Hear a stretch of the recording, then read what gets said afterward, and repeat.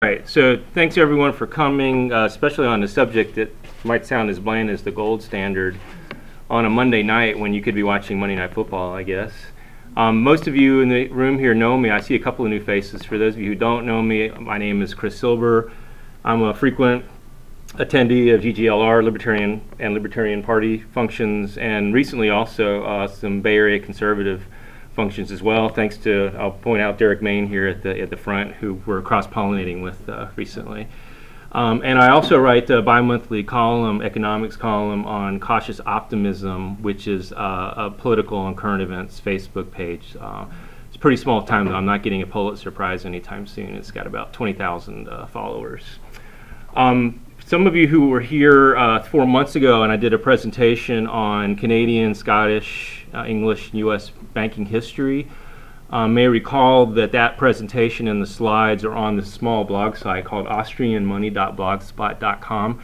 The slides for this presentation are already on that blog, and if this recording software works properly, it did last time, uh, the, the audio video will be on that blog site and on YouTube as well uh, pretty shortly. Okay, so um, moving forward, uh, I'm going to opine a little here. I, I tried to break this, as I always do, into three or four equally sized sections, and I was frustrated. I was simply unable to. So the layout's going to be a little strange. Uh, I just could not pull apart history and theory of the gold standard. The two are simply too intertwined. So I'm, we're going to sit through one long chapter on history and theory of the gold standard, and then we'll close out with a shorter section on some of the fallacies, perhaps some of you have heard it, the constant objections to the gold standard from the public and economists, why it's impossible to go back to gold. Um, I, I, with the blogging I do and the reading I do, I've seen these excuses so many times. I joked if I had a nickel in gold for every time I've heard one of these fallacies, I alone could put the world back on the gold standard. But, uh, but anyway, you'll see what those are in, in a little while. Okay, so let's start with history and theory. Um, for the sake of time, I'm going to go pretty quickly through pre prehistory up to the Middle Ages. So if we go back to before recorded history, um, when you had hunter-gatherers and villages and so forth, there was no, there was very little specialization in in uh, primitive uh, societies and economies. Um, although eventually, what economists call the division of labor crops up, and you have people who specialize in a certain kind of production. So the fisherman uh, catches a lot of fish, the wheat farmer grows a lot of wheat, um, and they end up producing a surplus of what they do, more than they could ever consume. And they end up trading with the surplus production of others uh, for what they need. Uh, this started with crude barter, but barter doesn't work very well, as we all know. It's inefficient for a number of reasons, but the two biggest ones are what economists call the double coincidence of wants. So I'm a fisherman and I want uh, a farmer's wheat, and but he doesn't want my fish, so we have to find a third party who wants my fish, but also makes something that the farmer wants, and you can see where this can go. Um, there's also a problem with indivisibility. Uh, if a rancher puts an enormous amount of time and resource into growing an entire cow, and I offer him one fish, he can't divide the cow up into a small enough piece. I guess he could slaughter it, I suppose. But um, or in the modern age, if we build a house and I'm, someone makes houses and I have hamburgers, I can't possibly supply enough hamburgers to a home builder in order to compensate them. So primitive societies uh, pretty eventually figured out, all disparate all across the world, uh, isolated from one another, figured out that some type of uh, medium of exchange was needed that all parties would accept. And you can see a list, a partial list of some of the mediums that societies tried in the past. Rice, wheat. I don't know if tobacco is on here yet. Tobacco is on here. There's an interesting story with that. They tried that in the old Virginia colony, so that's not even prehistory. And it worked fine until farmers started quote unquote minting their own money. I guess you can see how that's a problem because it's easy just to grow more tobacco. So, um, over centuries or even millennia, precious metals won out in the marketplace, um, not be necessarily because they're shiny or coveted for beauty, but because they have specific physical properties that make them more ideal than wheat or seashells or tobacco as a medium of exchange. And here we have a list um, I'm not going to go over this in a lot of detail, but as you can see, all of these apply to, for example, silver and gold. But you can find one of these that uh, wheat might fail at, or fish might fail at, or tobacco might fail at. So the first metallic coins that were minted that we know of were in Lydia, which is in central Turkey today, around 630, 640 BC. They find their way to ancient Greece around 500 BC. It's not a coincidence that ancient Greece blossoms into this great society that we hear about today.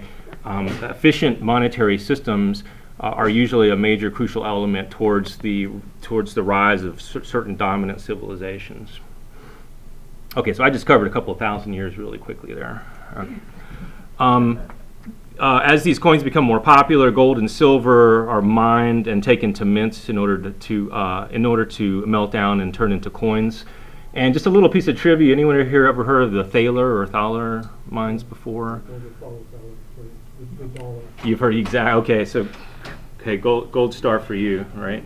Um, these famous mines, I think I want to say somewhere around the 14th or 15th century in what would be the Czech Republic today, or southeast Germany, and they had such a great reputation for purity, and their coins were so popular.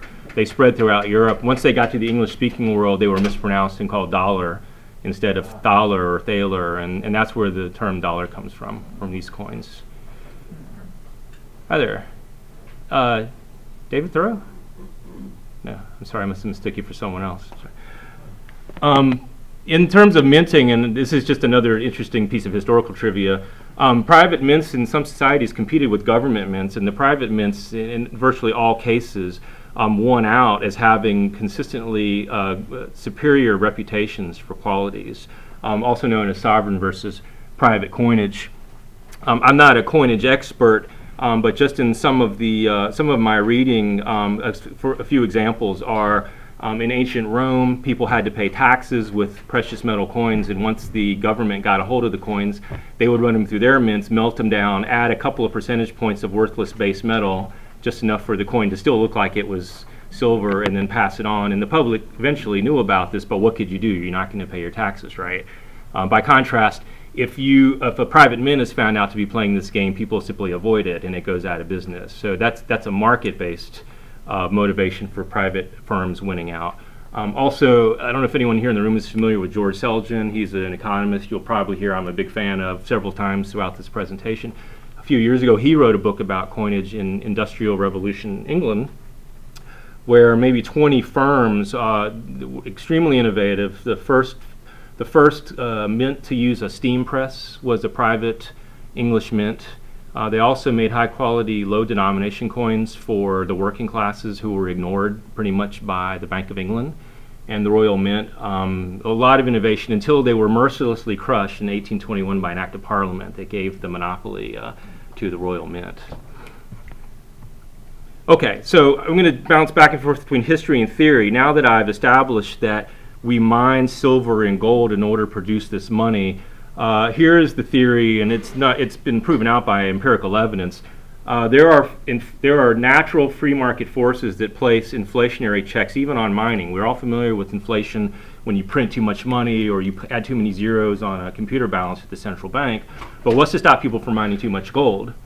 And it has to do with the relative value of gold mined versus the value of the gold required to purchase the resources to mine the gold. So I've summed it up here with uh, two contrasting statements. The first is if you mine too much gold, then the purchasing power of gold falls eventually to below the cost in gold terms of the resources required to mine an ounce of gold. So you actually end up losing money on gold mining.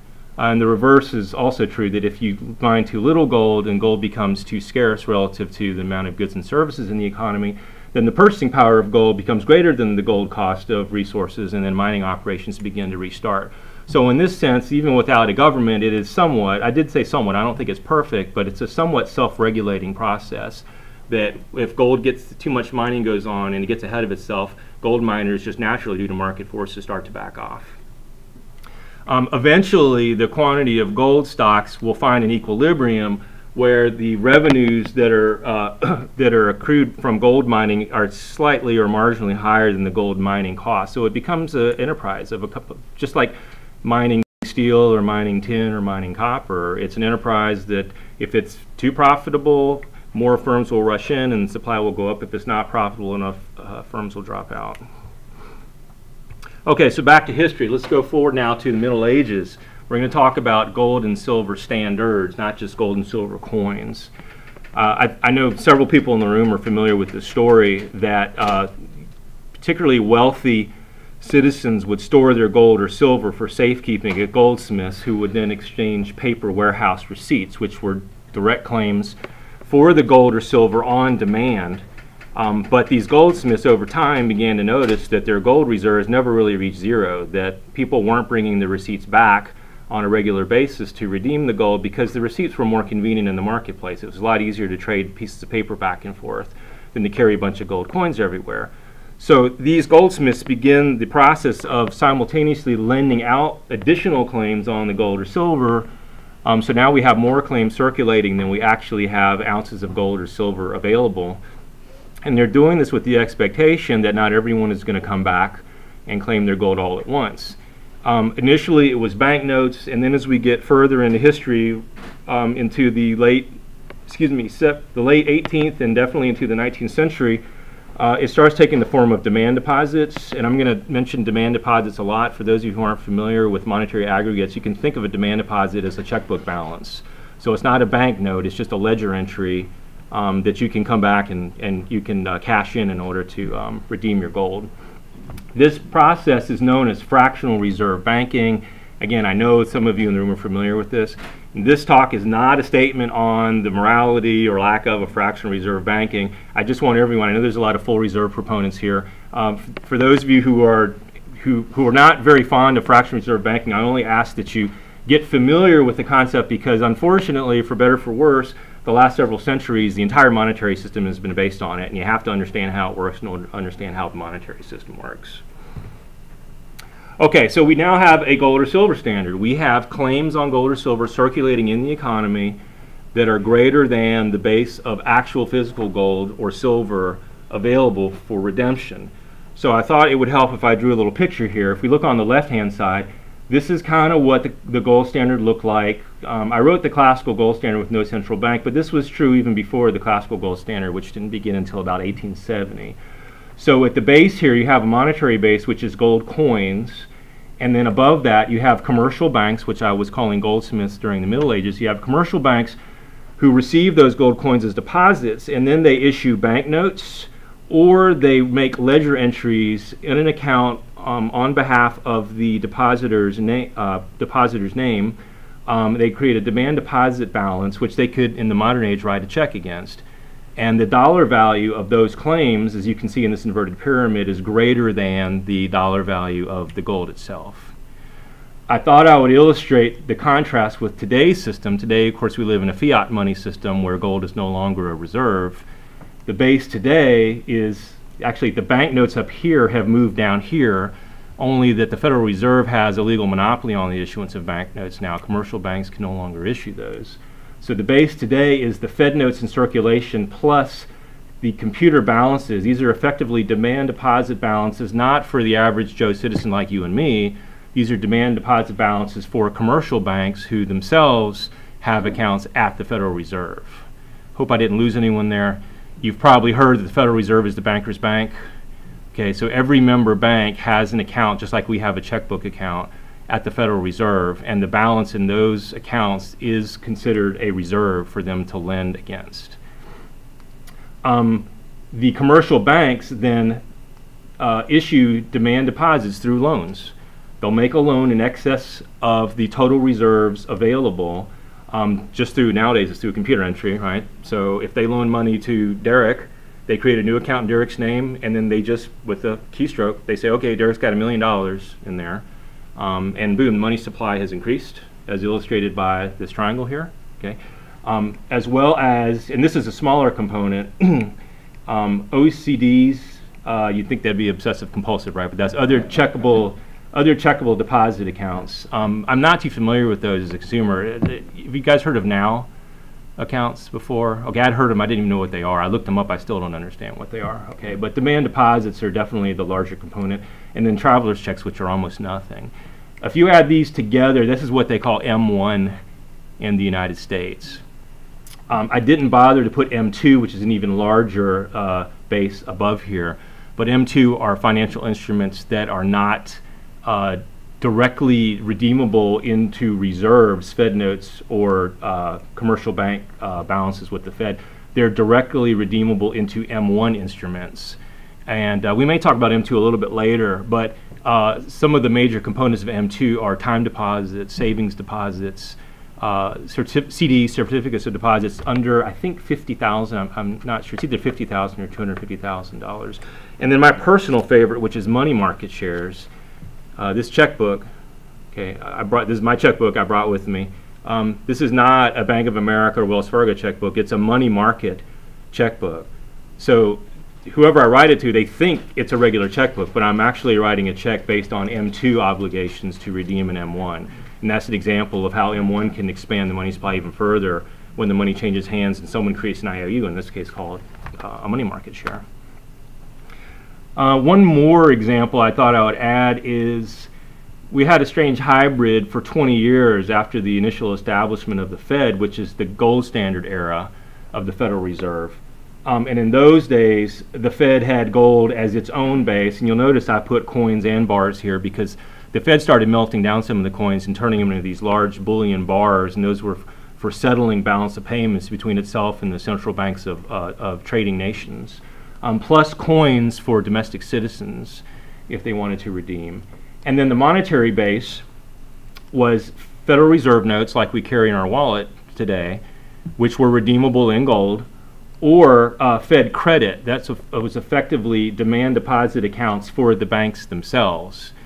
So if you think about it, the banks in the Fed gold standard era, they were writing, they were making loans in checkbook uh, and creating checkbook money, not based on the gold, but based on the instruments that the Fed created, which were a multiple of gold, its notes and its deposits for the uh, commercial banks themselves. Okay, a couple more uh, theory items about the gold or silver standard. Um, this is just a language thing, but it's helpful to keep in mind. Um, back during the gold standard era, the dollar, which we think of as a piece of paper today, was literally not a piece of paper. Do a dollar was a unit weight of gold, literally. Um, in fact, so were the pound, the franc, the lira, the mark. All of the currencies of the world during the classical gold standard were not pieces of paper. They were, they were defined as a certain weight of gold. In the United States, a dollar was literally equal to approximately 1 20th of an ounce of gold. The British pound was approximately a quarter ounce of gold, and the French franc was approximately one one hundredth of an ounce of gold. The paper that circulated back in those days, the public called them dollars, but they weren't dollars. They were claims on dollars. And if you've ever looked at an old commercial banknote, can you see here? Step away. It says, "We'll pay to the bearer on demand ten dollars."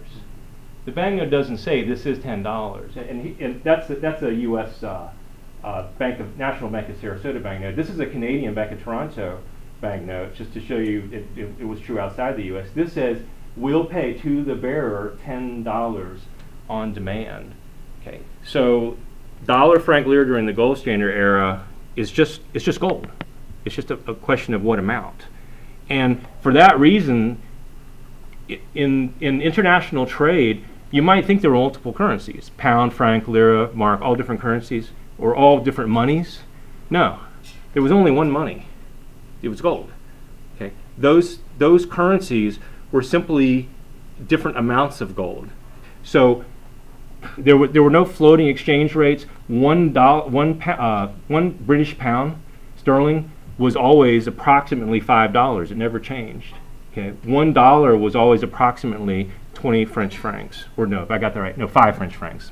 Okay, my bad. So this whole regime of uh, exchange rates. You guys ever go on an international vacation and check what the exchange rate is and it moves favorably or whatever? Okay, the floating exchange rate uh, regime didn't exist until 1971. Prior to 1971, for most of the history of the gold standard, uh, currencies traded at fixed exchange rates. There was no uncertainty in doing international business. And then this last point, this one's so important. In hindsight, I should have created a slide just for this. So sorry that it's at the bottom. Um, there's nothing stopping commercial banks from issuing as many claims on gold or silver as they want, except, and this is extremely important, market forces. That's the check. If a bank issues too many banknotes or issues too many de demand deposit claims on their gold reserves, they always have to worry, of course, about too many members of the public who hold those claims coming back at one time and demanding redemption and depleting the bank of their reserves. But one element that's forgotten, which was even more important to the banks, was the threat of a competing bank bringing its claims back. Of course, that quantity is much larger because uh, if, for example, I give a Bank of America note to Nick for payment, Nick's probably going to take it to his Wells Fargo and deposit it in order for his checkbook balance to go up by, let's say, $10. So competing banks accumulate these stocks of banknotes and liabilities from competing banks. Sometimes it was pretty rare, but sometimes they'd even gang up on one another. Although later throughout history in the 19th century, they tended to be more cooperative. But they would sometimes hold on to their banknotes as long as they could and then submit them all at the same time in, in order to try to put another bank out of business. So that constant threat of redemption is what keeps commercial banks in check. Work very well for those of you who are in my Canada Scotland presentation in June. Okay, and even central banks under a gold standard have to be concerned with overissuance for fear that other central banks or their own citizens might come back and demand too much gold at once.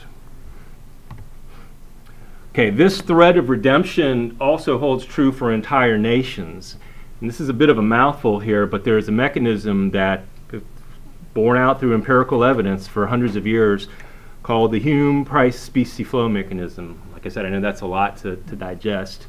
It was uh, written about uh, by David Hume, uh, Scottish Enlightenment philosopher, in I think 1755. He's the one who gets credit for it. For those of you who are in Austrian economics, the Austrians claim that Richard Cantillon, the French-Irish banker, um, that he had anticipated this 20 years prior. That's him down there. So we'll leave it to the historians to argue who came up with it first.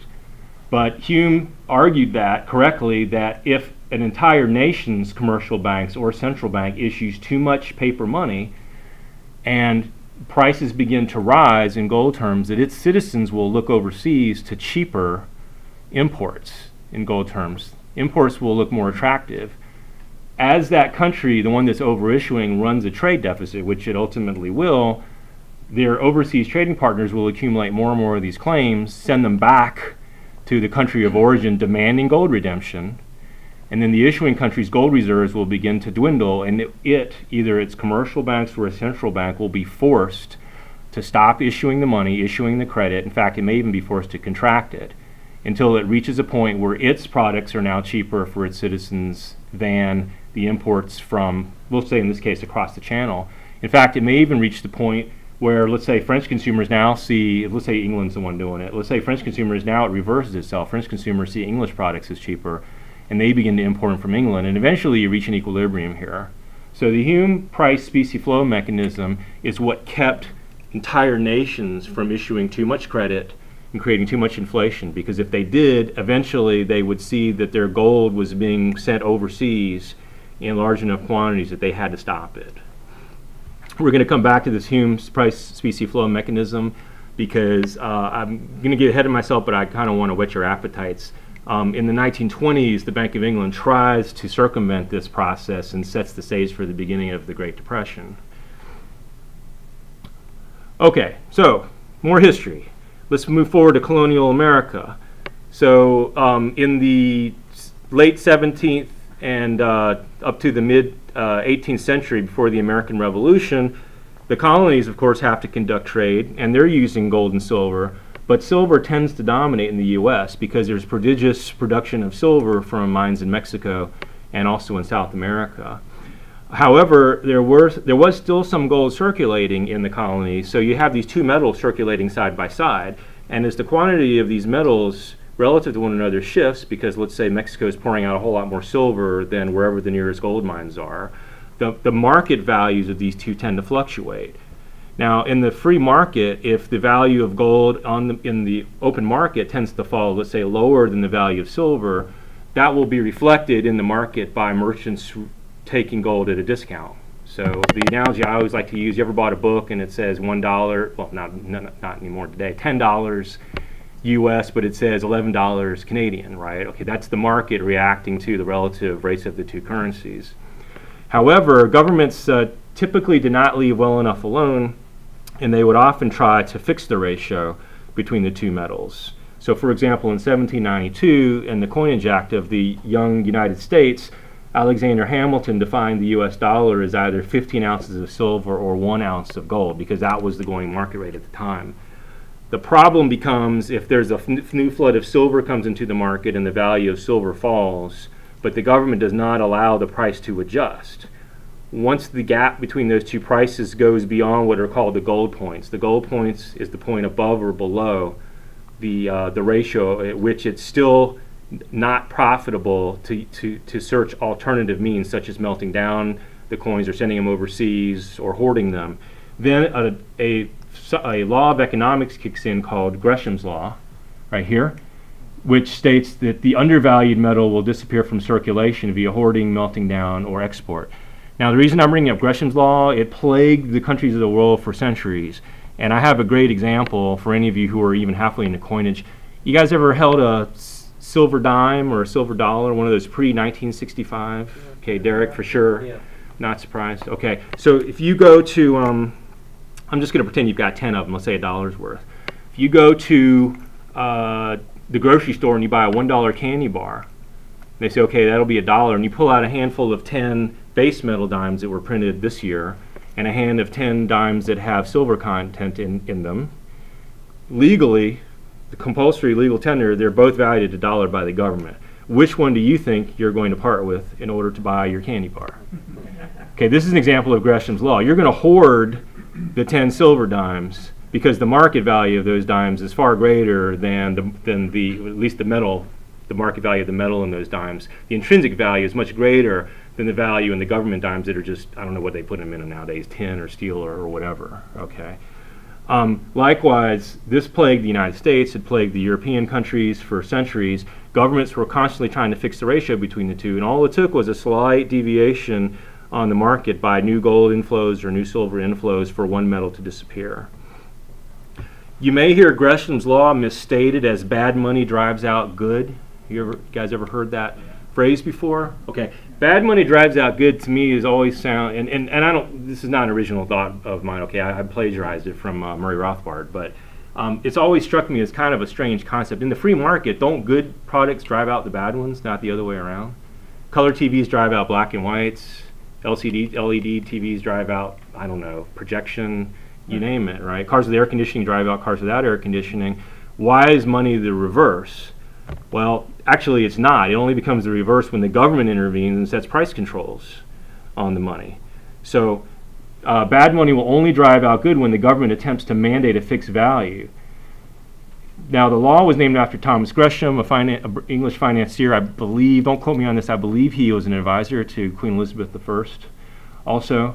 Um, but long before he stated Gresham's law, we think that the first proper statement was by the French bishop Nicolas Oresme in 1350, and this is a literal uh, quote of his, translated, of course. It's, uh, actually, it's, it's, beautiful. If the fixed legal ratio of the coin differs from the market values of the metals, the coin which is underrated entirely disappears from circulation, and the coin which is overrated remains current. Okay, that's about as well as you can put it. Um, I'm debating whether, yeah, I, I can't resist. I, I, I, this has, it's anyone ever taken microeconomics, supply, this, this is rooted in microeconomics, okay? For those of you familiar with price controls, if you set a price floor, don't allow prices to fall below a certain level, you get a surplus of that something. If you set a price ceiling, you don't allow prices to go above that level, you get a shortage. Just like toilet paper in Venezuela right now. You know, they set a, a price ceiling on it and, and it disappears. Well, Gresham's law is simply a manifestation of price floors and price ceilings. So if the silver is worth, if the market ratio, if the silver rises above um, the fixed legal ratio, we're effectively imposing a price ceiling on the silver, and it disappears from circulation. Okay. Uh, if the if the value falls below, the value of silver falls below the fixed legal ratio, they impose a price floor on it, and then we get a surplus of it. So the undervalued currency remains in uh, disappears, and the overvalued currency disappears from circulation. It's, it's, it's really literally Econ 101 for those of you who've ever taken that class. Okay, I'm going to change gears totally here. Have, this is kind of a sidebar uh, story. I'm not covering obviously every event in the history of the gold standard. That would take you know way too much time. Not that I know every event in the history of the gold standard but it's uh, really well illustrated, and this is some interesting American history too.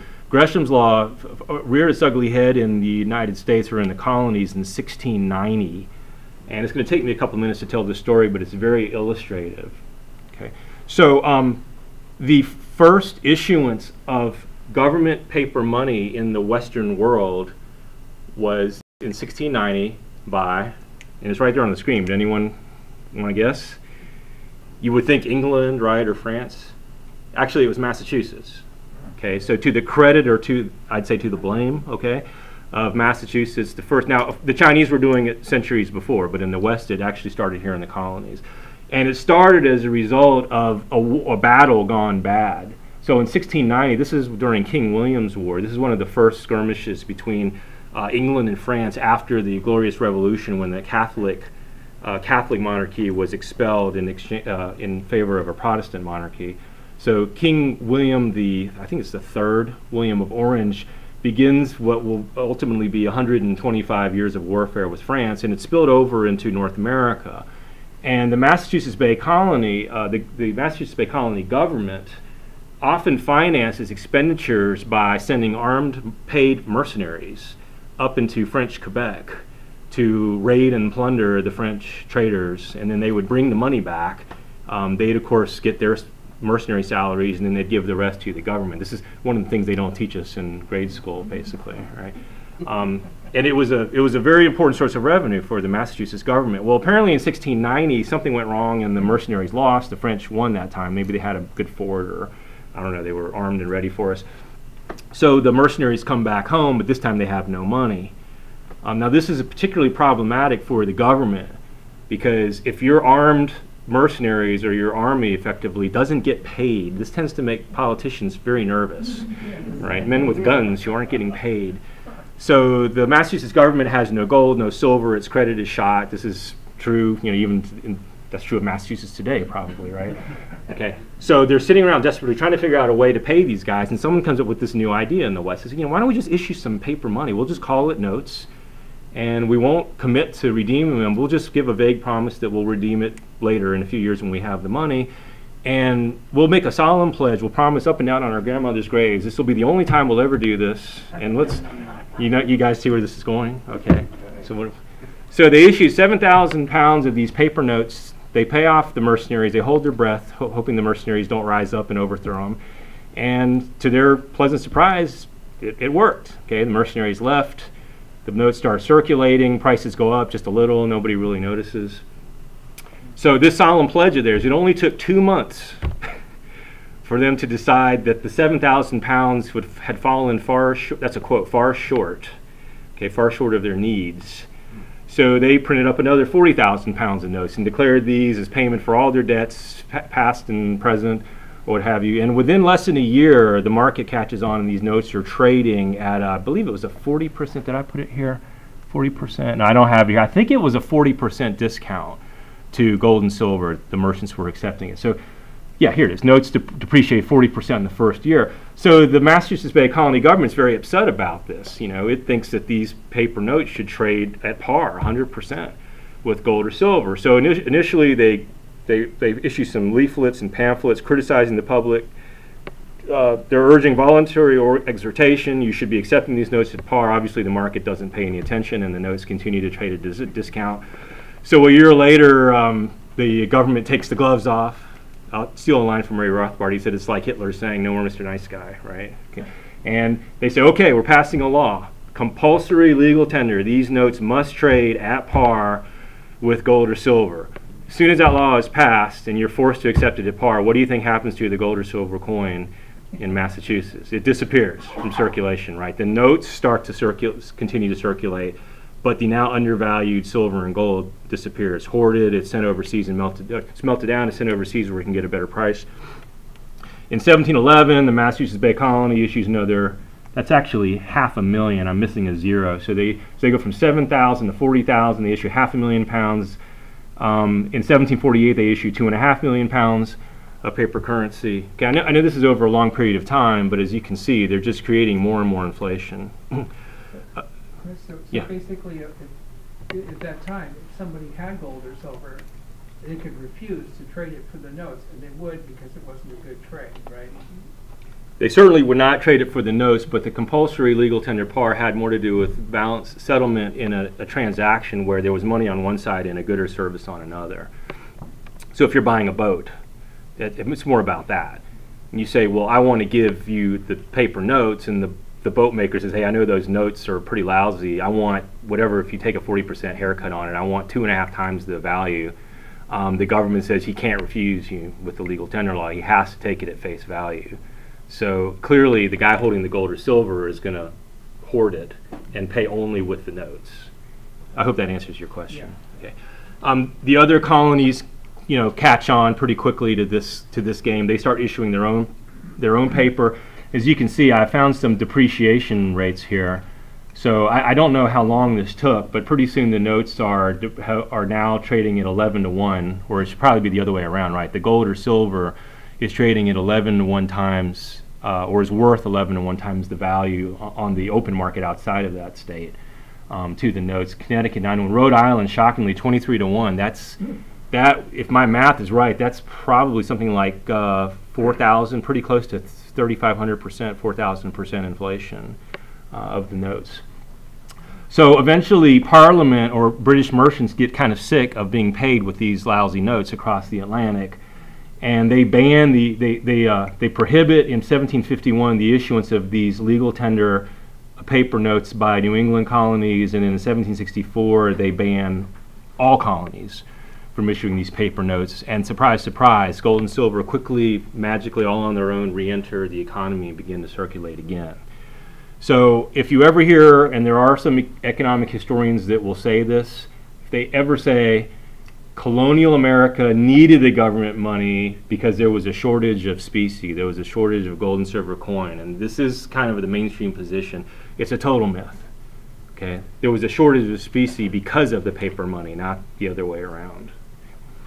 Um, in fact, I think that's what I wrote right here in the last bullet point, right? Government paper money and compulsory legal tender laws created the shortage of specie themselves. Um, I put a picture of Benjamin Franklin here too, and I, this is probably not polite of me to put this up here, but I wanted to kind of address another myth I've heard floated around. There's this, uh, is it is the word acrophical, acrophical, or it's when there's a quotation that's generally public knowledge, but it's not true. Um, okay, I'm probably going to butcher the word, but uh, I think it's an acro-.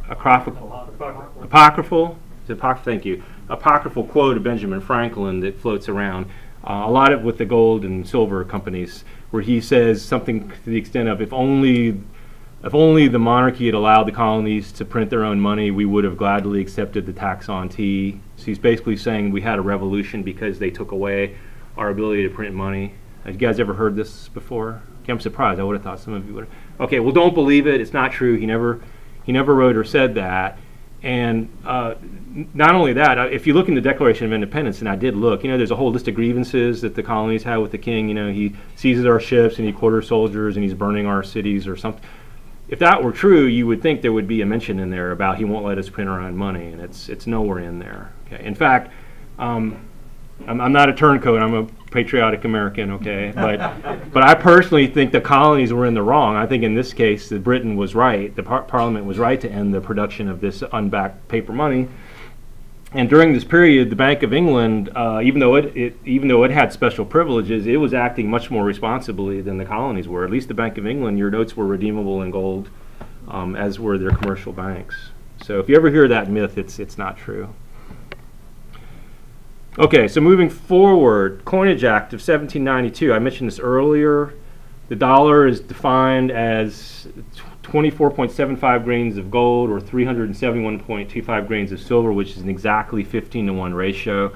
People can bring their silver or gold to the U.S. Mint, and it, it will it will strike coins at that ratio. That ratio was fine in 1792, but it didn't take very long, probably only a few years, because of the inflow of, of silver from Mexico for that market ratio to fall to 15.5 to 1. And gold, here we go, I, I, I did find the dates. The United States was, for all practical purposes, on a de facto silver standard from 1810 to 1834 because of Gresham's Law. In 1834, Congress moves to correct this problem, although I would think temporarily, right? So they reset the ratio to 16 to 1, which temporarily solves the problem. And then at the same time, Santa Anna is running his own deficits. Um, he declares copper coinage at par with silver, so Gresham's law in Mexico drives silver out of that country into the United States. and more silver comes into the U.S. And um, if I can remember uh, what the result was, with silver flooding to the U.S., that would mean silver is over. Was over. Yeah, silver would remain in circulation, and gold would continue to disappear. Um, this reverses itself in the 1850s when the California gold rush begins. So now California is pouring out prodigious amounts of gold. Now the ratios reverse. Silver becomes uh, undervalued and disappears from circulation. The United States winds up on a de facto gold standard. Can you see how crazy this, this bimetallism problem was? It was a real, it was a real headache for uh, the, the U.S. government throughout the 19th century.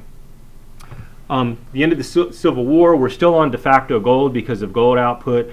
The rest of the world is already joining in on a monometallic standard. They're demonetizing silver and going on what's known as the International Classical Gold Standard. The United States is the last industrialized country to join in 1879.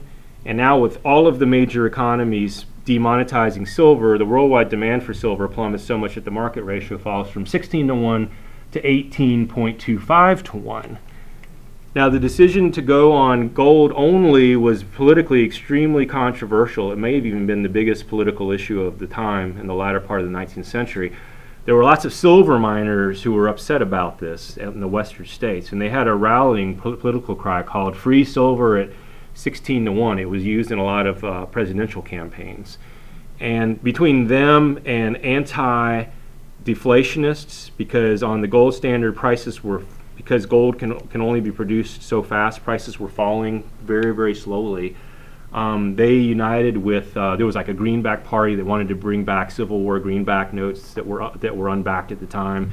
They wanted more money, more inflation, so they joined forces and they politically applied pressure to Washington to pass the Bland-Allison Act in 1878 that required the remonetization of silver at 16 to 1, and then the Sherman Silver Purchase Act in 1890, which mandated that the federal government purchase 4.5 million ounces of silver every month and coin it at a 16 to 1 ratio.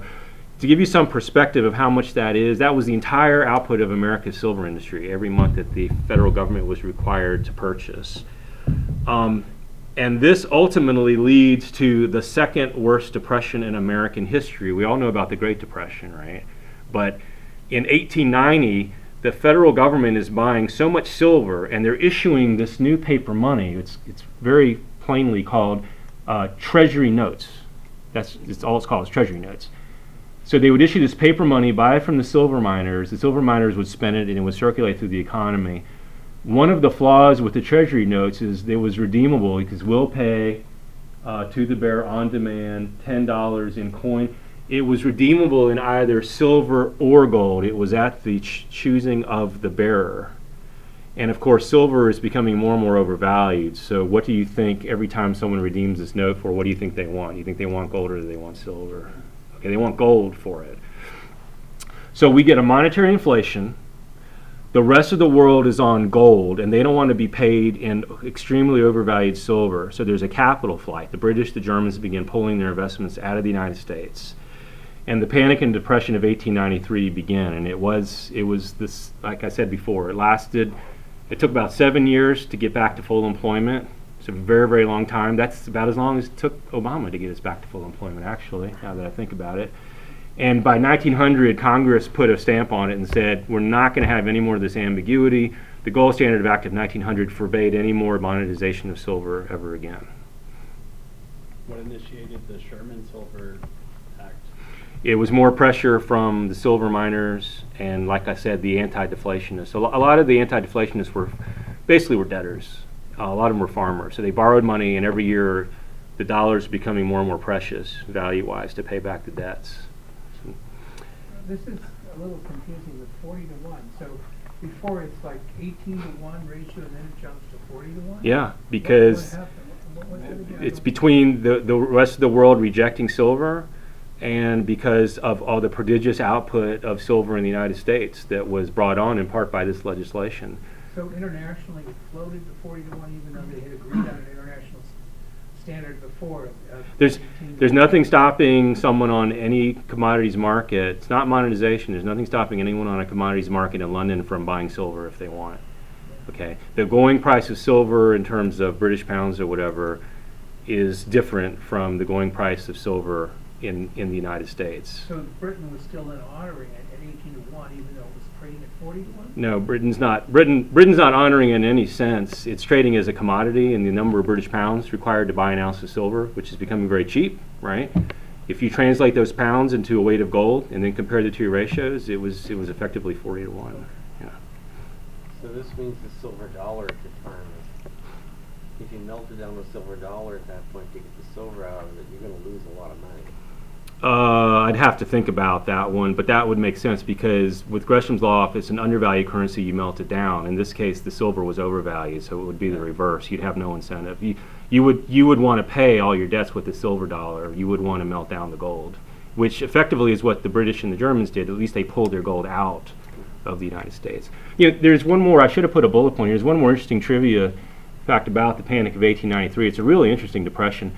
This, this you can claim from the U.S. Treasury gold or silver. Since everyone wanted to claim gold, the U.S. Treasury itself almost went bankrupt. Anyone heard this story before? Yeah, yeah. They, they, they almost went bankrupt. The, the U.S. the U.S. government was saved by a bailout loan from J.P. Morgan. uh, he, he actually represented a consortium of banks and it was a real ugly uh, episode. He took a, he didn't want to have anything to do with it, but he felt he had no choice. He took a railroad to Washington D.C. President Cleveland didn't want to meet with him, um, and the two men didn't talk to one another for several days. And, and Morgan just waited in a hotel room, but eventually Cleveland had no choice, and he had to call him in. But yes, we always hear about the government bailing out banks. What we don't know is there have been times when the banks have had to bail out the government. Morgan to do it, if I remember correctly, he, he printed fractional notes to do it, right? That you will know more than me. I don't know what the terms of the loan of the loan were.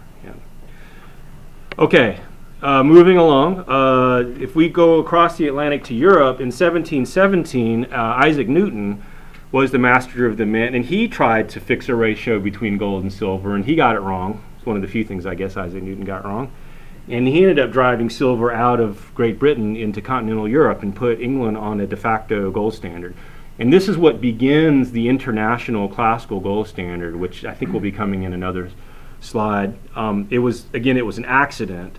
Um, uh, uh, after Waterloo, and I made a typo here, I'm sorry, I need to fix this. The de facto gold standard becomes, I should have written de jure in 1816 when Parliament passes the Gold Standard Act of 1816 and says, okay, officially we only monetize uh, gold anymore. Um, by the 1850s, the, most of the European countries hopped on board with the international with the classical gold standard, and of course, the United States is the last one. So by the 1870s, 1880s, 1890s, this is a period of enormous international economic growth, by the way, including in the U.S. The U.S. became the world's largest economy in the 1880s. Okay the international classical gold standard is, forgive the pun, it's the golden age of the gold standard. So when you talk to gold proponents, they love to go back to this to this heyday when the whole world was functioning very smoothly on gold. All currencies, as I mentioned before, were on ex were exchanged at fixed rates internationally. We had extreme long-term price stability. Um, I put an asterisk there as a reminder to myself, and I can't remember what it was about. So hopefully it'll come back to me. Um, the industrialized world sees unprecedented expansion of trade and investment. And I have some statistics here. In 1870, international foreign investment was 7% of world GDP. By the outbreak of World War I, it's, it's risen to 18%. And of course, that's 18% of GDP. So that's not just a 150% increase in investment. It's probably a 200 or 300% because the entire world economy, the entire world GDP is growing at the same time. Um, by 1938, which is the Great Depression, you guys know the Smoot-Hawley tariff launched an international trade war and everyone stopped trading with one another. It fell all the way back down to 5%. So that just shows you uh, how international trade flourishes with a gold standard and with, um, and with uh, you know, re removal of trade barriers. Also, international trade itself, not just foreign investment, is 10% of GDP in 1870 and it doubles by World War I. Long-term government bond yields. Okay, so there's no Fed here to engage in quantitative easing to push yields down. This is all on its own in the free market. 3% for a long-term yield in France, three and a quarter in the Netherlands, 2.9 in Belgium, three and a half in Germany. Does anyone know what the uh, 10 to 10 year yield is in the United States right now, even under? I don't know either. I'm, I'm wondering if it's got to be. High twos, isn't it? Like Okay, so it's getting close, right? So even even with the Fed printing money, trying to push the, of course they're raising interest rates now, so it's starting to come up. But you know, most fiat money proponents will tell you, well, it's impossible for the government to borrow money cheaply under a gold standard. Well, no, I mean you can see because because everyone knew that prices were going to be stable and there wouldn't be inflation over the long term. Um, corporate, this isn't even government. A railroad bond yield is three three percent. Uh, large corporations were issuing 99-year corporate bonds. I think the major railroads did that. That's unheard of in this day and age, because in this day and age, who knows what prices are going to be 99 years from now? Okay, we have no confidence that we have we can have any idea exactly what prices will be. So no one's willing to accept a certain return on investment unless it's extremely high, right? Um, for 99 years, 30 years is as far as as far as it goes uh, in most cases. I think. In fact, just from what I know about my own personal investing, I rarely see corporations even issue 30-year bonds. They're usually 10-year notes or five-year notes. Uh, I don't see many 30-year out there. Now, by the way, this 99-year thing, okay, this is in the late 19th century. Nobody knew the Fed was coming. I just wanted to, to mention that. Okay, so they think there's price stability for 99 years. If they knew the Federal Reserve was going to come in 1914, you would have seen these 99-year bonds come to, uh, you know, grind to a halt. But at the time, they thought the gold standard was going to go on forever. Okay, and then banknotes are still redeemable in gold, and demand deposits are taking a larger and larger share of the M, of what we call the M1 money supply. So checkbook money is becoming dom, is becoming the primary form of payment in the world, less so than paper banknotes. Your asterisk was about long-term price stability. Was- There were actually falling prices in lots of areas, right? Because of the increased productivity? Yeah, I'm actually you're anticipating another slide, but you know, Oh. Chad, that might be why I put the asterisk there. I I just can't remember. Silly, huh? It's like tying a finger around a string around your finger. You don't know why you did it. Um, I do want to point out the International Classical Gold Standard was not completely laissez-faire. Okay, if you had no central banks whatsoever, it would be a true free banking international gold standard, where commercial banks are constantly receiving international claims for redemption, and they're changing their own credit policies based on their own gold reserves. The central banks that began to dominate in Europe at the time were supposed to mimic what would have been the behavior of the commercial banks and the clearinghouses as a whole. Um, and in fact, England uh, had a pretty stellar reputation. It came about as close as any central bank could to behaving honestly um, with its setting of interest rates and with gold inflows and outflows. But there were certain countries that cheated, um, and one of the common forms of cheating was called sterilization. So that meant when you had uh, when you had gold inflows, you're running a trade surplus, and gold starts flowing into your country. Instead of allowing that gold to be monetized to create more money and more credit, they would sterilize it. They would kind of lock it down and put it in a, I mean, not literally in a room somewhere, but they would separate it out and not make it available to the economy because they didn't want prices to rise in their economy and therefore reverse the trade surplus. For those of you who are familiar with the concept of mercantilism, which was pretty dominant in Europe just a century prior, that was the idea. They thought, the governments thought, the best economic policy is export, export, never import, accumulate huge stashes of gold or silver as a war chest, you know, in case you have a war in the future. Uh, it's a lot of kind of like what China is accused of today, right? Just run continuous trade surpluses and just accumulate a lot of money. So sterilizations were a problem. There were periphery governments in Europe that engaged in devaluations, uh, and in Latin America. Um, but two, real, two of the stellar countries, Great Britain and the United States, uh, Great Britain never devalued from 1717 to 1931, excluding uh, uh, World War I, where they went off the gold standard in, during the Napoleonic Wars. And the United States did not devalue um, between, technically, I should say, 1834 to 1933, because they had to redefine the dollar, um, the gold silver ratio in 1834. But I'll, I'll say from the founding of the country to 1933, there were no devaluations. So those two countries um, received deservedly uh, stellar reputations. Um, probably should not have included this last bullet point. Uh, for those of you who sat in on my June talk uh, about Canadian and U.S. banking, it was a golden era, but not so much in the U.S. because you probably heard we had lots of banking crises and financial panics in the U.S. That was not because of the gold standard, no matter what you read in the newspapers.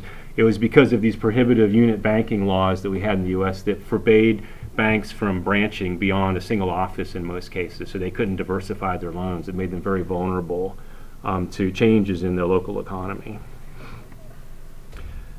Okay, so to touch on something Chad brought up, that is what it was, Chad. See, I've got long-term price stability with an asterisk there, so that's exactly, yeah, great minds think alike. Okay, thank you. All right.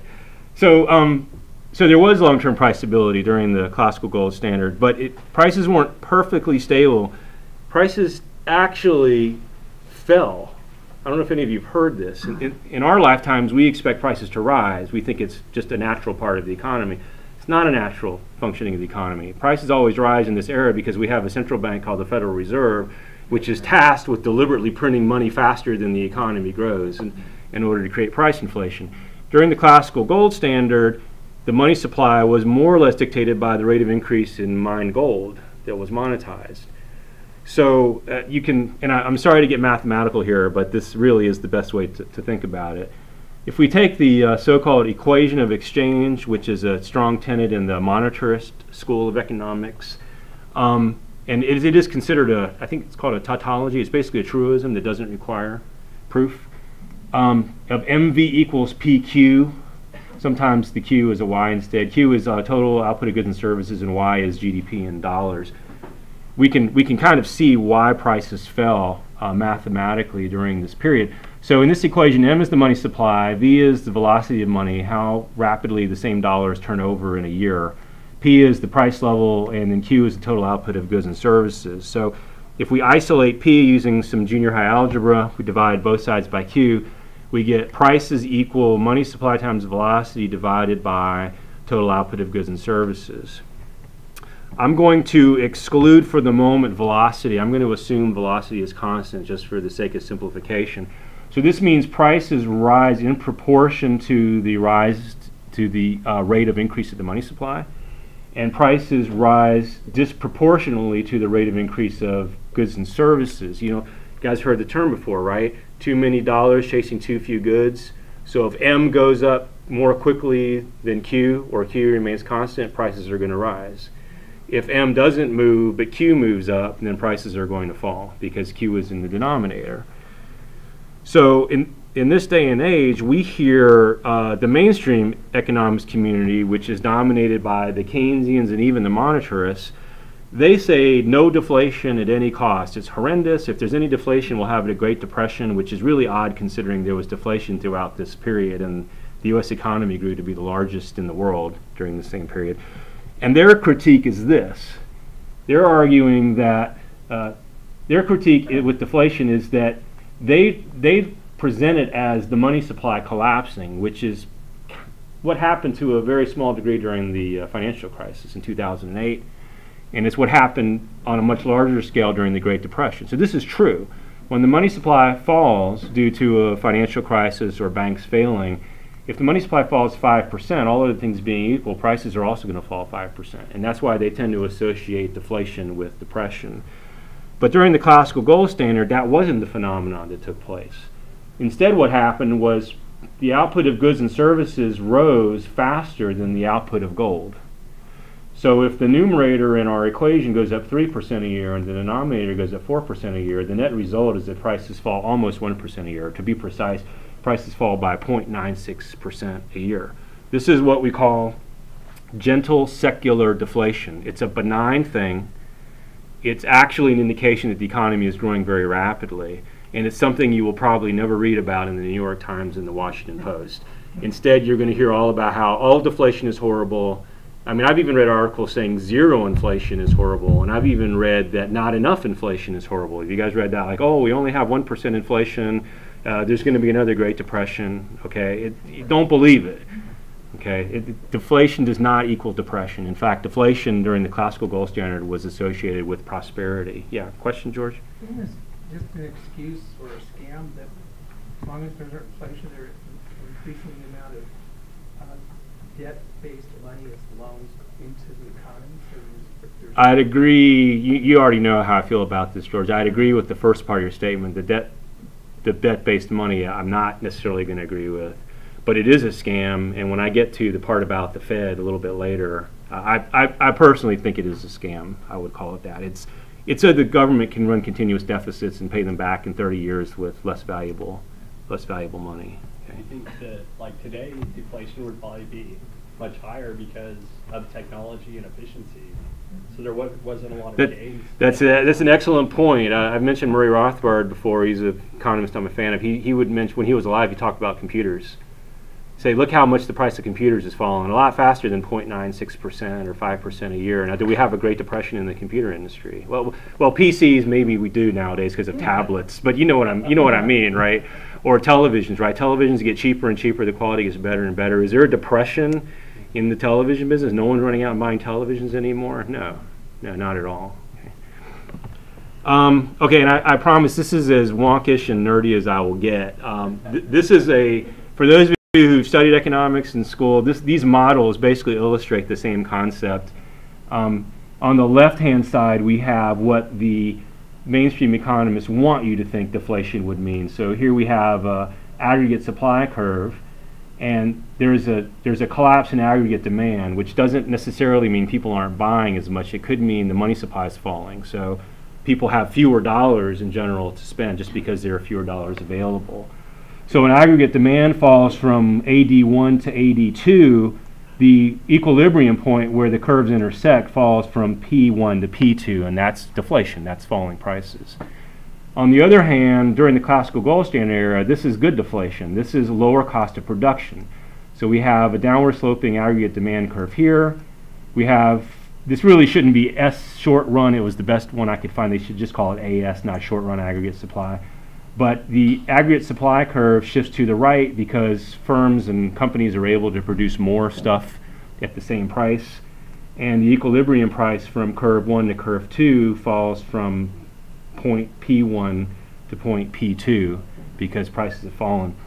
If this confuses you and you want to understand it, the slides are going to be on the on the blog site, so feel free to pull them down and analyze them all you want. But economists tend to like these models because they feel that they illustrate the concept more clearly than, than just the math. Okay. Um, okay. Actually, I had planned to take a short break here and to take questions, but we've already had some questions. So, are you guys okay with if I just keep going? Okay.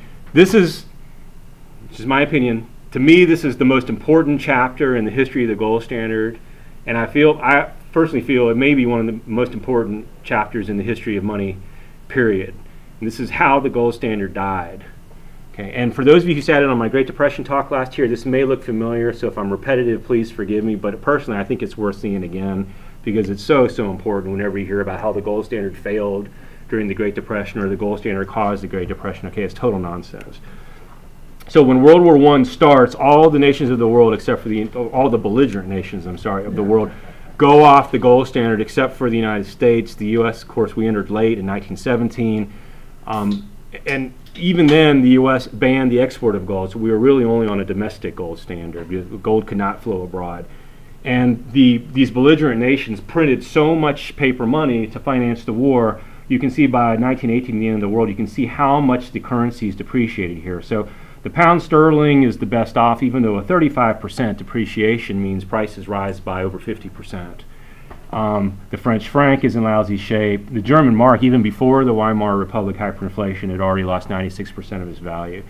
So when the war is over and the nations of Europe want to go back on gold, it's going to be really hard to go back on gold at the original definition in terms of gold, weight of gold because you have the same amount of gold, maybe even less now, and you have 20 times as much money or twice as much money or three times as much money. And it's simply not credible. When people cash in their redemptions, you're going to run out of reserves. So most countries did probably the most the best of all the bad choices was to devalue. They redefined their currencies as gold, but at a much lower weight in order to support so that that same stock of gold could support a larger quantity of money. But the one exception was UK, was Great Britain. Okay, Britain wanted to return to the wanted to return to the gold standard. It didn't have the gold to do it, and it refused to devalue the pound because it wanted to recapture the old glory of Rule Britannia or whatever. And there was probably also a political unawareness on part of British politicians that the financial center of the world really had moved to New York at this point. It was no longer London, although they, they wanted it to be. Um, Britain could have gone back to gold at the old par, which was technically $4.86 US to the pound, but that would have required a painful deflation. That is, the money supply would have had to have shrunk in order to be realistically supported by the same quantity of gold. And Britain had traditionally done that after the Napoleonic Wars. They took the they took the recession, they took the deflation. The United States did it after World War One. We had a depression in 1920, which was basically the U.S. reversing the inflation, but England wouldn't do it. So they consulted two of their experts. Uh, I'm guessing some of you can identify at least one of these experts. Anyone want to take a shot at it? Yeah, yeah, on the right, that's Keynes. Okay. The other is I'll, I'll, I'll joke. I'll call it his evil twin. Okay, that's Ralph Hawtrey. They were both Cambridge products. They had a lot in common. They went to school around the same time. Neither of them had an economics degree. That's kind of an interesting um, point. Um, Hawtrey worked at uh, Treasury, and Keynes was at Cambridge. So they decided to put Britain back on the gold standard, but it wasn't the classical gold standard. They went on to what I call the gold bullion sterling exchange standard. Okay, but it's if you read about in economic history, it's referred to simply as the gold exchange standard. So what's different about this new system? Okay, for starters, no coin anymore, only bullion bars. So all the coins at the Bank of England were melted down into these minimum 400 ounce bars. And if you held Bank of England banknotes or Bank of England liabilities, you could you could still cash them in, but only in a minimum of one of these bars.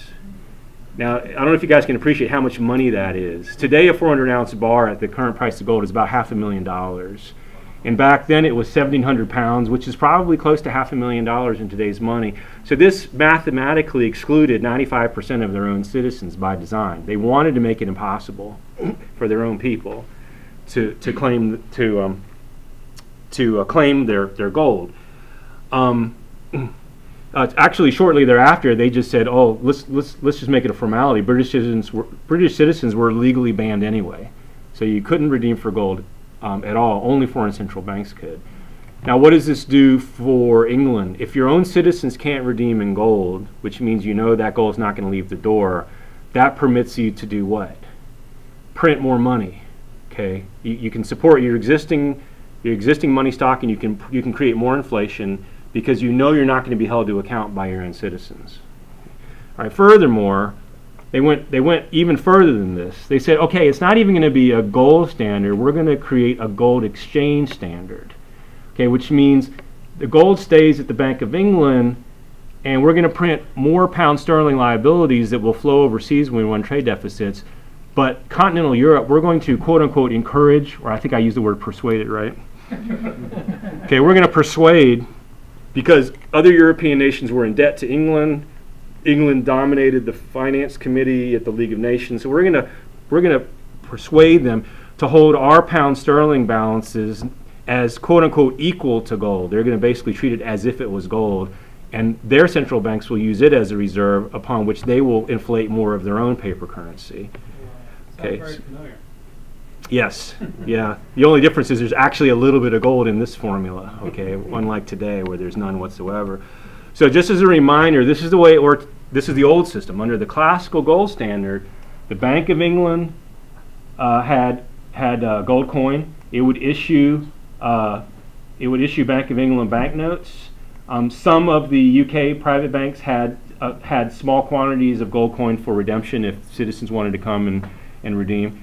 Eventually, the country ran a trade deficit. These pound sterling balances would pile up on the continent. And then here's the key this red line is so important. Okay, that's the threat of redemption I was talking about. The sterling remittances go back to the Bank of England. Bank of England is drained for gold, and the Bank of England has to stop the inflation. Okay, so that's the way it worked under the old system. Under the new system, all of the gold was centralized in bullion bars at the Bank of England. The country runs trade deficits. These Bank, these Bank of England um, pound sterling notes and liabilities pile up on the continent, but they don't come back. And, in, in, instead, the foreign government central banks start printing more of their own currency, pretending that, I probably shouldn't say pretending, but it really was, pretending that these Bank of England banknotes are like gold, like a reserve. Okay. Now, all this time, keep in mind, these foreign central banks have the right to submit these pound sterling banknotes back to the Bank of England and redeem them for gold. But they didn't because one, they were persuaded not to, and second, because at least for the time being, it was in their interest they like having more reserves because it allows them to create more inflation too, right? So for at least a while, they were happy to accumulate these sterling balances uh, at their own central banks and create more of their own money. Now, what was the rationale behind this? I think everyone in this room can kind of see how this is sort of a jerry-rigged house of cards. Okay, they could collapse at the first sign of trouble. The rationale were, that I could find, other than the, the, the unofficial rationale, of course, is we want more inflation. We don't want to have to, to deal with the consequences. But the official rationale, number one, Keynes argued, well, it's cheaper this way. Instead of having gold constantly floating back and forth across the channel, it's cheaper to maintain credit at one of the great financial centers of the world, which can be converted with great readiness when it's required. I've never understood this cheaper argument. I mean, if you compare it to the cost of the macroeconomic distortions it creates in the entire world, I think those costs are much greater than shipping a little gold across the channel. And some of you may know the gold usually didn't even move physically anyway. It just got shifted at the Bank of England from one side of the room to the other. So I, have never bought into that. You know, they, they, truly, in fact, I think uh, like the Fed, you guys know the Federal Reserve today holds gold on behalf of other central banks. It's all underground and it, it, just moves, right? They just move it from the Germany corner to, well, I think the German gold's gone now or something like that. But they move it from the Italy corner to the France corner or, whatever. Okay. Um, but the other rationale, and this is one of my personal favorites, uh, he also attacked the gold standard, saying that a pref preference for a tangible reserve currency, i.e., gold, is is a relic of a time when governments were less trustworthy in these matters than they are now. Okay. So evidently, we've had over a century of perfectly trustworthy governments in monetary matters. Okay. Okay. Before I uh, talk about how this all kind of fell apart in Europe, it didn't end there. It spread to the United States because even though England was able to get the European countries to go along with this, the United States was not willing to accept paper Bank of England pound notes. The United States wanted gold. So there was still a mismatch in prices between England and the U.S., and England was still running uh, chronic trade deficits with America. Well, no problem. In 1927, in July, this is the governor of the Bank of England. This is um, Montague Norman. And this is the uh, governor of the Federal Reserve Bank of New York. That's Benjamin Strong. These two were, were buddies. They were close personal friends. They vacationed together. They had a lot of personal correspondence. Norman came over to the U.S. and he persuaded Strong. He persuaded Strong to engage in a major Federal Reserve inflation in order to raise our prices, in order to match England's prices to stop the trade deficits. Um, so in this meeting, we have uh, the governor of the uh, uh, the Reichsbank. Uh, he's, he's not in the picture. He, he is actually standing over here, and the Bank of France uh, deputy governor's over here. They announced to the uh, governors of the Bank of France and the Reichsbank, we're doing this, it's a fait accompli. The other two countries didn't like it, but they didn't really have a lot of choice in the matter. Um, and when the announcement was made, this is a quote that should be in the business section once a week of the New York Times, but it never is. Uh, Strong turned to uh, Charles Rist, the deputy governor of the Bank of France, and he joyfully exclaimed, I'm going to give, quote, a little coup de whiskey to the stock market. So even in the 1920s, the Federal Reserve governors understood what the implications were of printing a lot of money, um, that it would bleed over in asset markets. And I think most of us know kind of the rest of the story, at least for the next two years, right? The, the, the Fed, this you may not be familiar with, the Fed expands its balance sheet by 55% in only 17 months. And the money supply rises uh, in this six year period. I picked the end of the Depression of 1920 to 21 to the point where um, the quantitative easing of the Fed stopped, the money supply rose uh, an average of 6.3% per year in that six year period, which is much faster than the growth of the overall economy. But keep in mind, a disproportionate amount of that monetary growth occurred in the last 18 months. So money is spilling over into the stock market, into the real estate market. You guys have all heard about the bubbles and the speculation leading up to 1929. Uh, Benjamin Strong, who was always sick, he died from tuberculosis in October of 28, and the new Fed leadership ended the open market purchases in January of 1929. So, starved of new money, the stock market begins to falter in the summer, and we all know, right, about the, the crash in October. So now the world is going into recession, not Great Depression yet, into recession and the European central banks begin to go to the Bank of England and ask for some gold. Uh, France, which was a huge holder of Bank of England liabilities, expressed a desire to convert some sterling to gold. And Norman threatened to devalue if he went through with his desire to claim his gold. And he assured uh, the governor, not the deputy governor, the governor was um, Emile Moreau. He assured him England will never go off gold. I'm sure you can see where this is going. Okay. Uh, on September 18th of 31, the Bank of Netherlands governor, Gerard Vissering, he expressed a similar concern. And Norman's told him, quote, uh, he told him that the Bank of England will remain on gold, quote, at all costs. That's on September 18th. Two days later, on September 20th, the Bank of England goes off of gold. Okay, so that's 237 years, 237 stellar years of peacetime pledges that the Bank of England made good on to convert, and it ends after 237 years. The Federal Reserve now is the largest, uh, it, it was before and it still is the largest holder of gold reserves of all the central banks. But you have to remember, compared to the Bank of England, the Federal Reserve is a toddler. Because at this point, it's only been in business for 17 years. So the world is really beginning to question now the last remaining major central bank. What is its commitment? How well is it going to stick to its commitment? So the Fed immediately saw an increase in international calls for dollar redemptions for gold.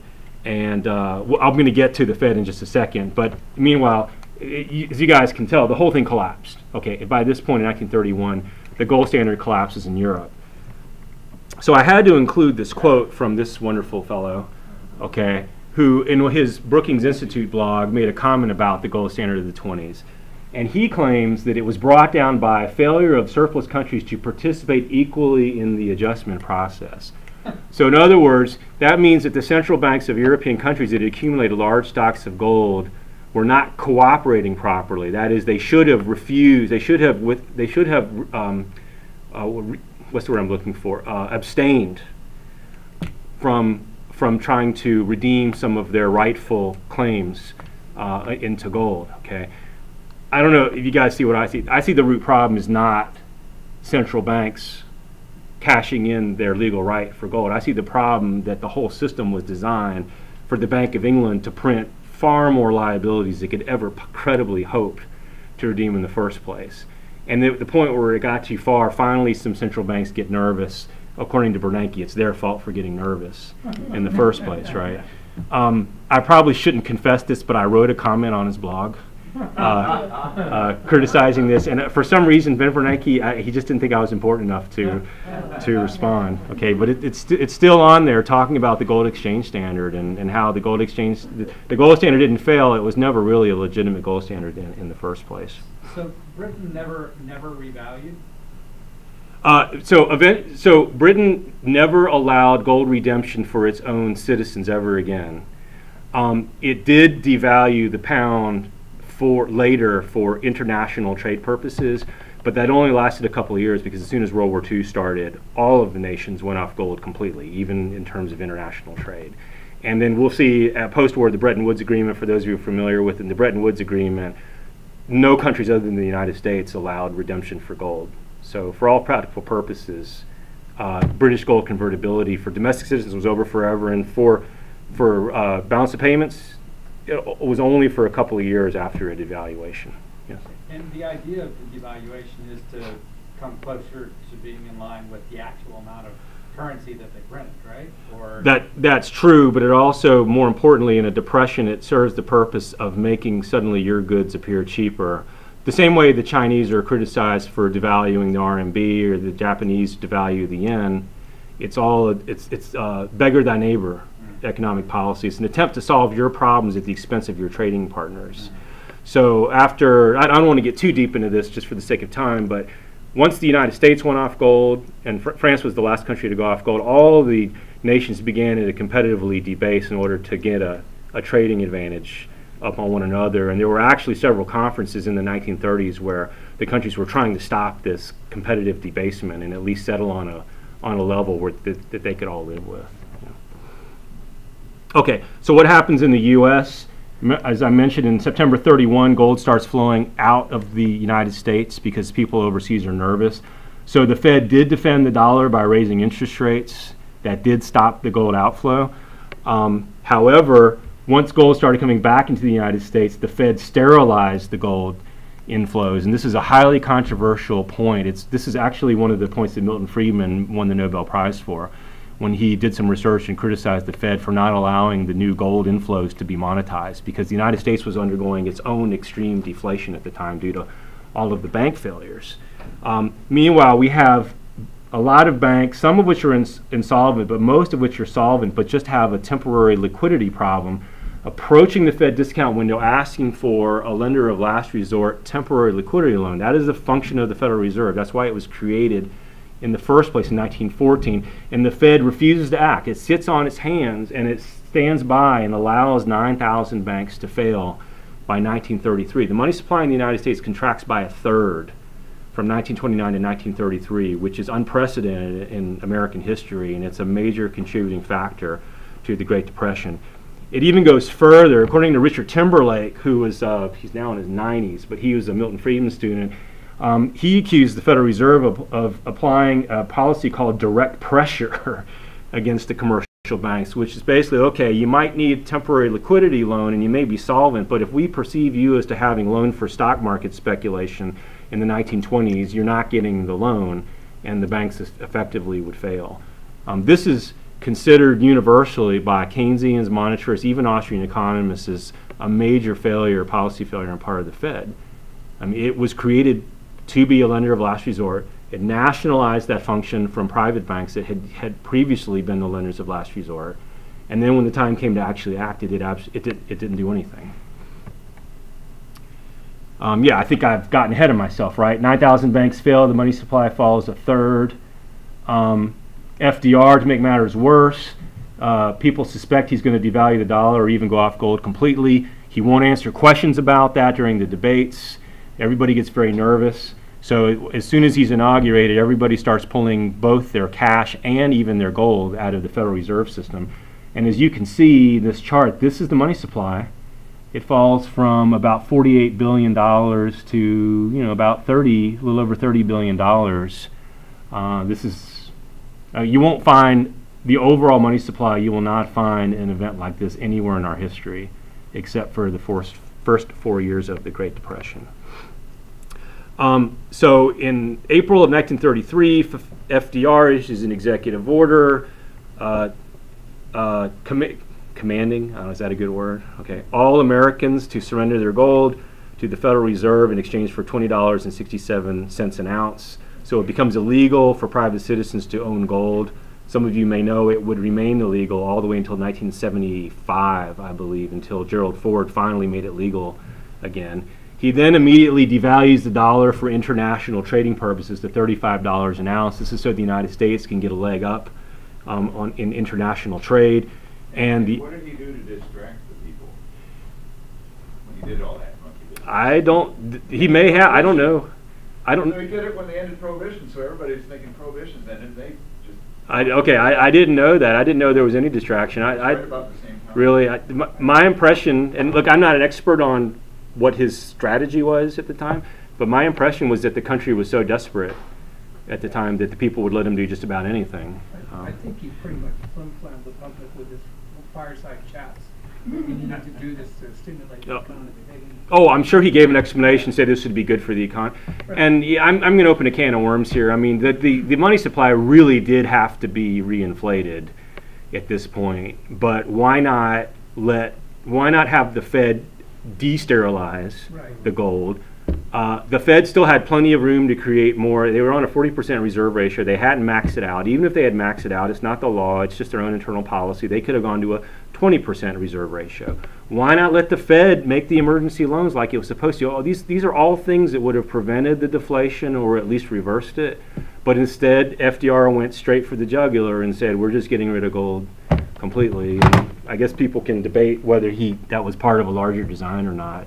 But Um, this, this had already been, happened to British citizens uh, earlier, before. but for a different reason. Yeah. British citizens lost their right to convert in 1925 under pretty stable circumstances. It took a crisis in the United States for American citizens to lose that right. But, you know, I'm But- wondering, in, in their situation, what would, uh, what would the British citizens tell? I mean, didn't, wasn't there kind of like an outcry, or, I guess, uh, or, or no outcry.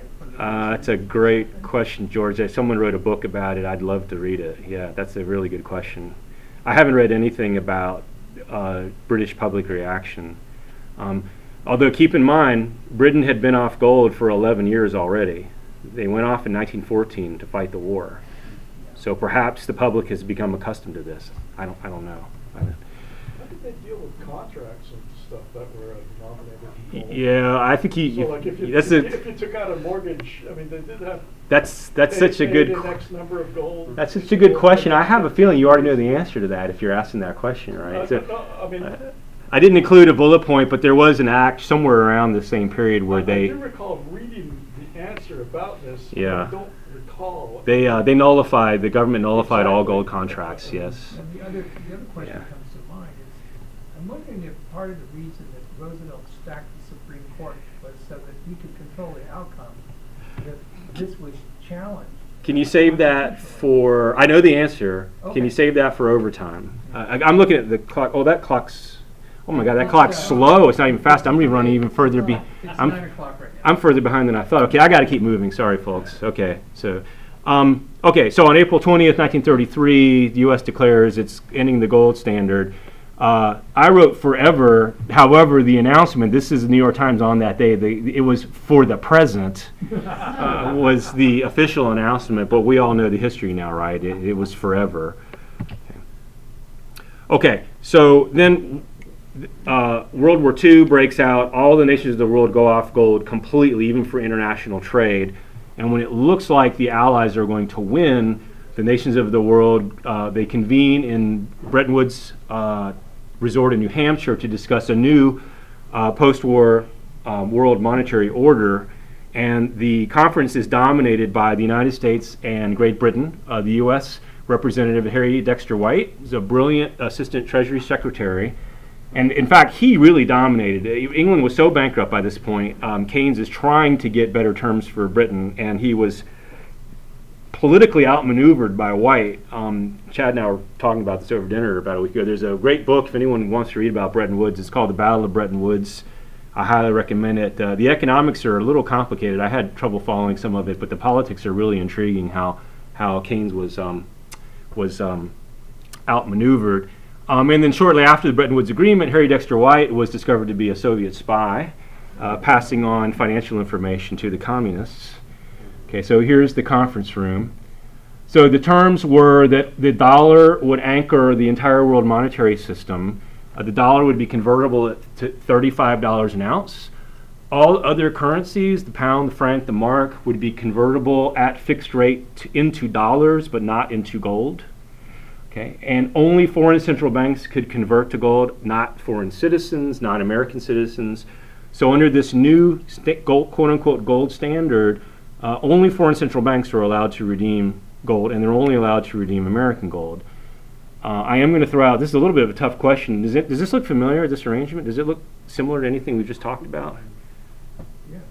Okay. This is the gold exchange standard all over again. It's the British gold exchange standard all over again. Okay. The only difference is it's the U.S. is the is where the gold reserves are. Okay. But in every other respect, it's almost identical. And this, of course, is the beginning of the dollar as the global reserve currency. Even though Nixon went took uh, took the U.S. off even the international gold standard in '71, there was so much inertia at that point to dollars being a reserve that uh, it just remained a reserve currency. Um, here's a modern day shot of the Bretton Woods Resort. It's a pretty swanky place, and they, there's a little historical marker. Um, uh, one of the problems, this of course is modern day. If I had been able to take this picture in 1944, you would have seen dark clouds forming, okay, above it, um, but but not now. And of all the ironies in history, I don't know if y'all are, knew this. The Bretton Woods uh, Resort is at the base of Mount Deception. That's kind of an interesting. this is true. Yeah. They named it afterwards. Yeah, so I think it was deception prior. That might have had something to do with the choice of location for the uh, for the conference. Okay, so now the world is is inflating based on American gold reserves, but there is a finite supply of gold, and that limits American and global inflationary policy. But by the 1950s, the world is in love with Keynesianism as a monetary policy, which means perpetual inflation. So this manifests itself through Lyndon Johnson's administration. He's continuously running deficits, and the Federal Reserve is printing more and more dollars to oblige him so that he can fight the Vietnam War and pay for the Great Society.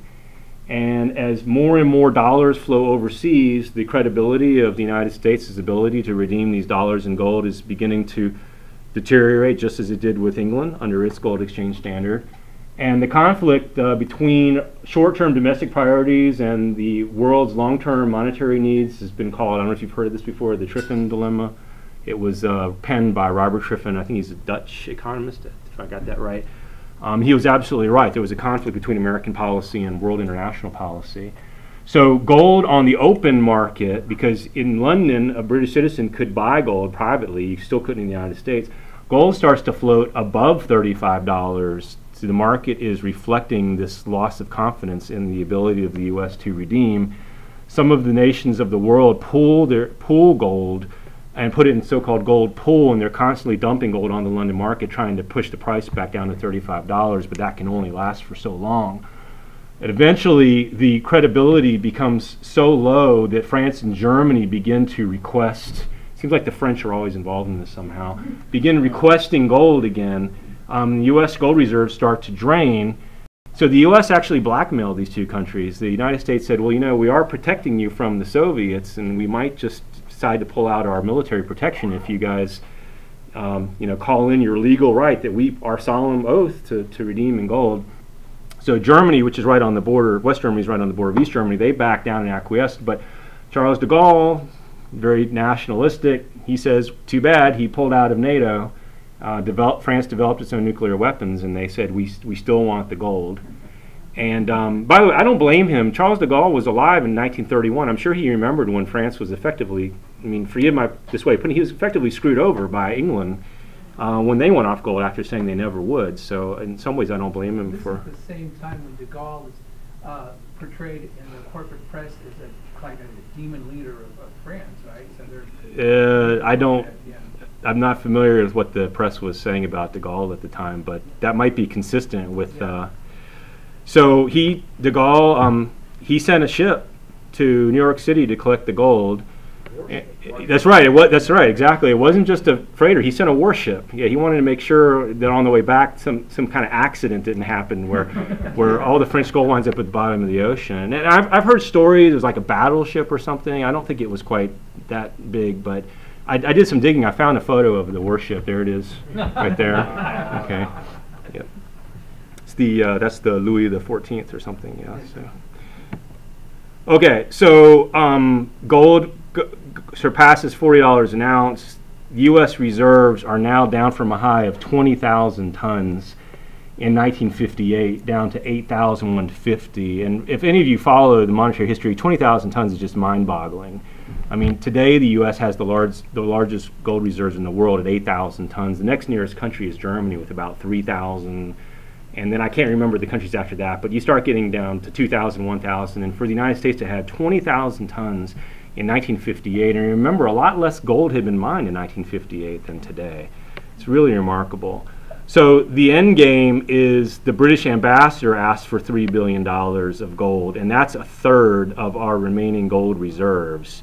And that is what triggers four days later Richard Nixon's famous speech, where he, again, that key word temporarily suspends dollar convertibility to gold. And then, so on that date, after thousands of years of money and civil, civilization being tied in some way or another to gold or silver, it ends forever. And we've been in what, the th- 47 years now?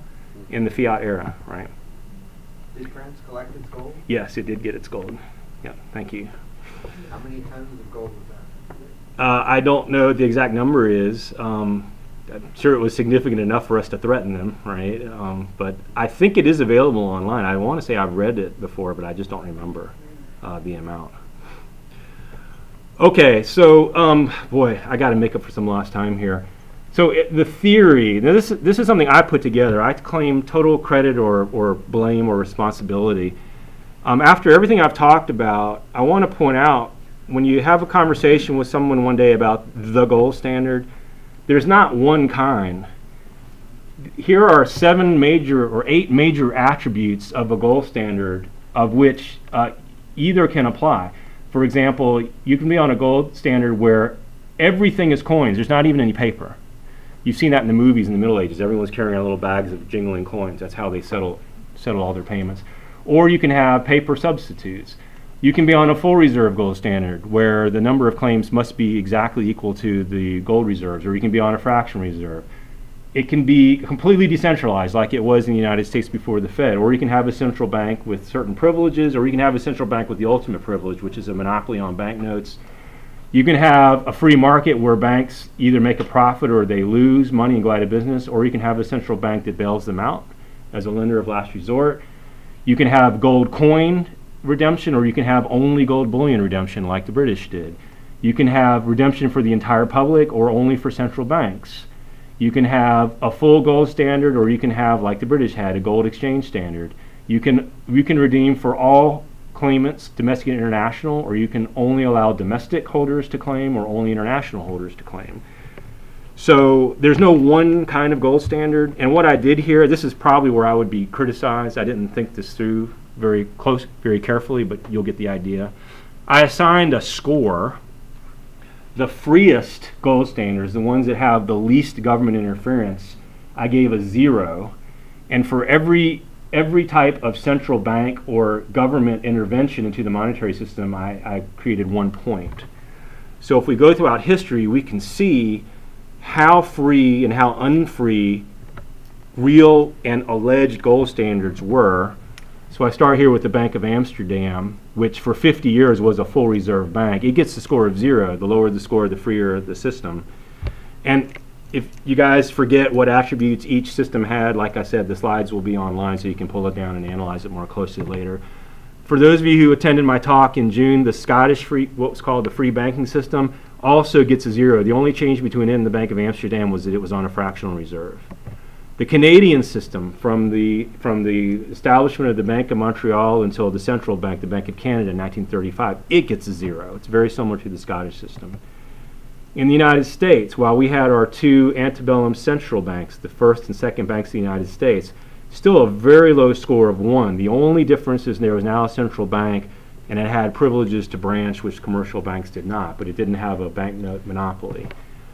The Bank of England during the classical gold standard gets a two or a three, depending on early early on in this era, it was not performing a lender of last resort function, but later after 1871, it began to perform the function, so it gets a three.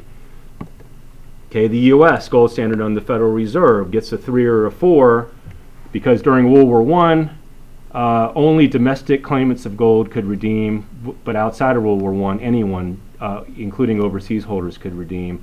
Also, in the early days of the Fed, uh, private commercial banks could print banknotes, but by the 1920s, the Fed was given a monopoly, and uh, there was no more uh, competitive banknote issuance in the private sector. And then the Bank of England during the interwar gold exchange era, the one that I say is so important, it gets the worst score you can possibly get, okay, a seven, as does the Bretton Woods system. So if you ever have a conversation about the gold standard and someone refers to the Bretton Woods system as the gold standard, they're probably not going to talk about the interwar gold standard in England, but it's a very important period, even though it's only six years.